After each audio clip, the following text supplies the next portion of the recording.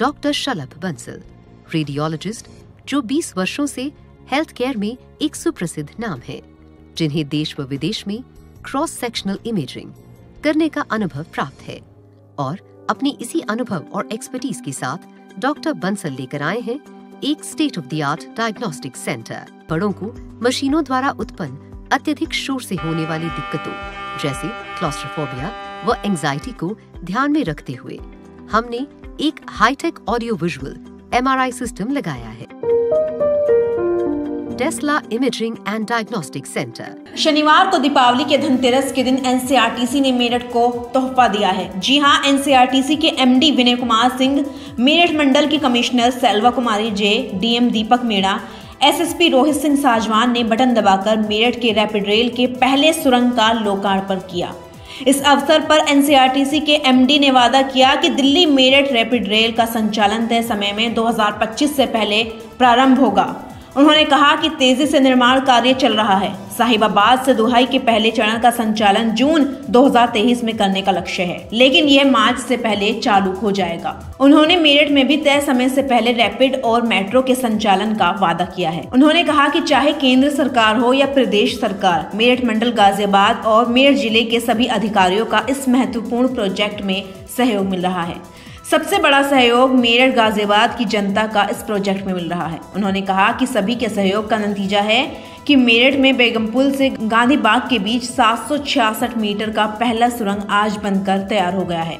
ये rapid rail के लिए एक बड़ी उपलब्धि है। इस अवसर पर बड़ी संख्या में निर्माण कार्य से जुड़े एनसीआरटीसी और निर्माण एजेंसियों के अधिकारी कर्मचारी मौजूद रहे। एनसीआरटीसी एमडीए विनय कुमार ने दी जानकारी। देखिए रिपोर्ट। महीने पहले हम लॉन्च की थी। मेरठ में। आज सफ़र पूरा करके करीब चनवानी वाली चनवानी वाली। साढ़े सात सौ मीटर चल के वो आज यहाँ पे टनल बोरिंग मशीन बाहर निकल के आई है बेगमपुर से। इसकी खासियत ये है कि अगर आप देखें इस स्टेशन के चार आप देख रहे हैं कि स्टोरी है इसमें नीचे ज़मीन के नीचे। जब हमने ये काम शुरू किया था किसी ने सोचा नहीं था मेरठ में इतने कंजेस्टेड एरिया में एक छोटा सा भी कोई चीज़ आप बना सकते हैं यहाँ से इतना ट्रैफ़िक है। लेकिन आज आप देख सकते हैं इतना बड़ा दो सौ, ढाई सौ मीटर बड़ा हुआ स्टेशन उसके लिए चार मंजिल बन गई है, इसमें बहुत सारा कॉन्क्रीट हुआ है, बहुत सारी मट्टी निकली है और मेरठ में किसी को नहीं पता कि वो कहाँ से कॉन्क्रीट जा रही है और कहाँ मट्टी जा रही है।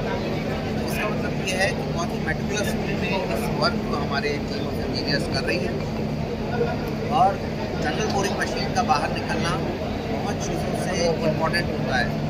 वो इसलिए इम्पोर्टेंट है कि टनल बोरिंग मशीन जब चल रही होती है तो उसका अलाइनमेंट बहुत इंपॉर्टेंट चीज़ होता है कि सही जहाँ पे उन्होंने सोचा है कि यहाँ जाएगी और यहाँ निकलेगी तो स्टेशन आपने बना लिया। अगर स्टेशन आप पहले नहीं बनाते तो टनल बोरिंग मशीन कहाँ निकलती तो स्टेशन हमने बनाया जिससे टनल बोरिंग मशीन यहाँ निकले। चूँकि स्टेशन बन गया है तो उसमें जहाँ पे उसका निकलना ज़रूरी है, वहीं वो निकलती है। आज जैसे टनल बोरिंग मशीन निकली, एक दिन से भी कम एक्यूरेसी पे निकली जो हमने सोचा था कि कहाँ निकलेगी उसके इतने अंदर उसके अंदर ये है। इतनी बड़ी मशीन जो अंदर काम कर रही है तो इस एक्टिविटी से निकलेगी। इंजीनियर्स की बहुत खुशी की बात है कि जैसा हम प्लान कर रहे हैं वैसा हम एक्सक्यूट कर पा रहे हैं। कितने मंथ्स में का? ये चार महीने के अंदर भी हम यहाँ तक पहुँच गई है और ये पहली टीम है रिक्रूट किया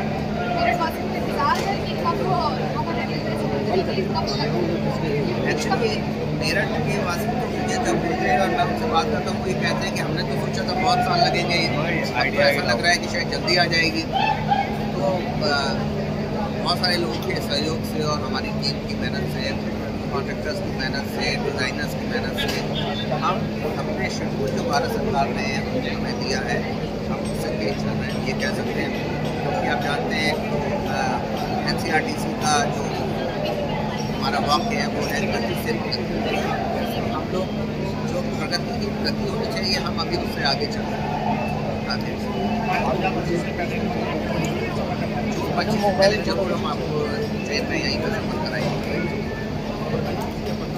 अभी के लिए इतना ही। हमारे वीडियोस को ज़्यादा ऐसी ज़्यादा लाइक करें शेयर करें और चैनल को सब्सक्राइब करना न भूले। नमस्कार। Vardhman academy and English medium coeducational senior secondary school classes from nursery to twelfth smart class room wifi computer lab advance maths and science lab well stock library best environment for games yoga and music Vardhman academy railway road मेरा